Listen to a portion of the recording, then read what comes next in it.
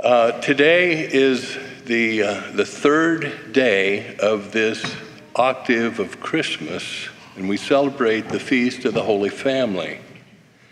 Yesterday, on the 26th, the day after Christmas, we celebrated, if you can call it a celebration, the feast of the martyrdom of St. Stephen, the first Christian martyr following the resurrection. And tomorrow in our liturgy, we will remember the holy innocents who died at the hand of King Herod. I think it's fitting that this year, today's feast of the Holy Family falls right in the middle of these two feasts that remind us that there is sin and evil in this world, and that is the very reason why we desperately need and why we so joyfully celebrate the coming of the Christ child for the redemption of all of mankind. In Boston's Museum of Fine Arts, a painting by a French artist beautifully depicts the Holy Family resting on their flight to Egypt to escape Herod's persecution. The Blessed Mother, with the Christ child nestled in her arms, is asleep between the paws of the statue of the Egyptian Sphinx. I invite you to check this, this out if you haven't seen it. It's a beautiful, it's a beautiful painting. A short, in this painting, a short distance away from, from Mary and Jesus, St. Joseph is, is like he's out cold. He's, he, he is sleeping. He's near a diminishing fire and a donkey. He's exhausted from protecting his family, but if anyone tried to get near the Blessed Mother and the child, they'd have to go through him first. The positioning of these figures beautifully illustrates the challenges of the Holy Family, and it's a symbol to us of our own challenges in every family today. This morning, I would like to focus on the guardian of Mary and Jesus, Joseph.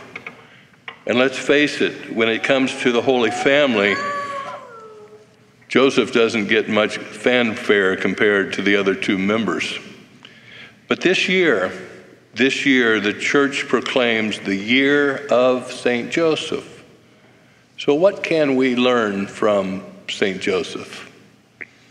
Well, we do not know a lot about this silent man, but we do know that he was obedient and he was trusting. He quickly acted to protect his beloved spouse and the Christ child when told in a dream that he must flee for the protection of Jesus. Nor did he hesitate to act upon God's messenger in what was told to him in a dream concerning Mary's pregnancy, and he immediately took her as his wife in order to protect her and the child Jesus. We know nothing about Joseph's age.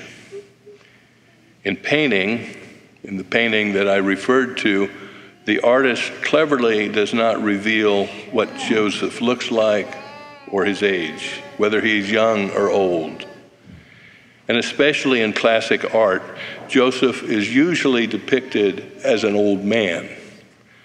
Perhaps portraying him as an old man makes it easier for us to accept Mary's perpetual virginity. Bishop Fulton J. Sheen put it this way Art unconsciously made Joseph a spouse, chaste and pure by age rather than by virtue. Bishop Sheen believed that Joseph was a chaste young man, strong, virile, athletic. I believe Venerable Bishop Sheen makes a good point. You know, it's easy to overlook the virtue of St. Joseph when we think of him as an old man who's ready to be put out to pasture. But doesn't it make sense that the man who was chosen to be the protector of Our Lady, of Mary and Jesus, would be young and strong? When asked her opinion of Joseph's age, Mother Angelica quipped, The old man walked to Egypt? Please do not misunderstand me. Joseph could have been an old man, but Mother Angelica makes a good point as well. I don't see an old man working as a carpenter. In those days, being a carpenter in that region of the world meant stone cutting. Or an old man making the 80 mile journey to Nazareth to Jerusalem, maybe as many as three times per year for the major Jewish feasts. Men, we need Joseph as our role model. He's loving, strong, obedient, just, and chaste. We are all called to holiness, men and women alike. In the Holy Family, God was literally, physically in their midst. In our homes and in our families, we are to place God spiritually in our midst. After our love of God, men, we are called to love and protect our wives as Jesus loves and protects the church. This love will then flow to our children who look to us for guidance and protection.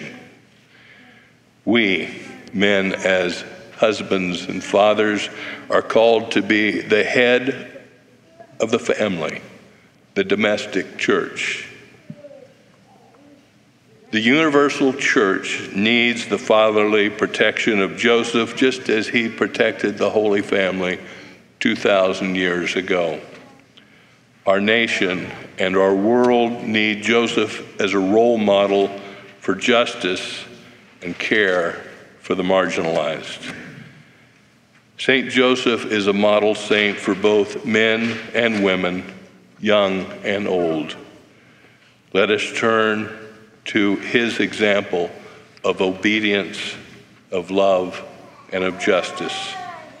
And let us all learn more about St. Joseph this year, in the year of St. Joseph, and seek his intercession for our church, our universal church, our domestic church, and our nation. St. Joseph, pray for us.